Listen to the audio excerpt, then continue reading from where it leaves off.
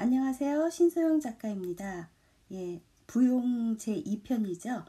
이제 제가 요 열매를 이제 사과를 그리기 시작하는데요. 이제 요게 과정이에요. 맨 처음에는 이제 이렇게 오므려 있다가 겉 껍질이 벗겨지고 그다음에 그 안에 게 이제 익어가면서 이제 겉에 게 시드는 그런 모습이거든요. 네.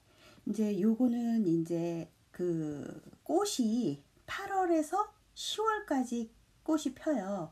그리고 나서 10월부터 이제 이 사과가 맺히기 시작하는 거예요. 그래서 익어가는 과정이 있고 이거 제가 이제 봤을 때는 그때 이제 추석 정도였던 것 같아요. 그러니까 이제 시기가 거의 맞았던 것 같아요. 그리고 제가 봤던 장소가 그 한쪽 면에 물이 흐르고 있는 개울 같은 게 있었거든요.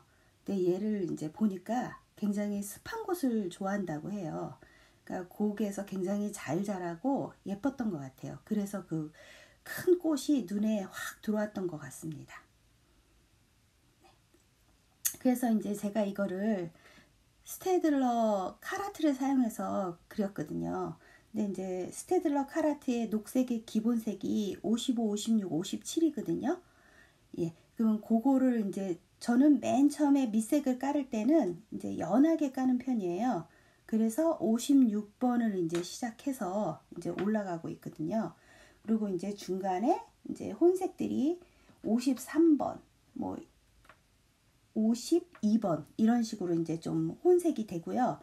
이제 명암 줄 때는 이제 55번 뭐 이런 식으로 해서 들어가고요. 그리고 이제 여기 이제 시든 시든 거는 저는 49번을 굉장히 잘 쓰는 편이에요. 이 색이 굉장히 좀 편안한 그런 색이 있거든요.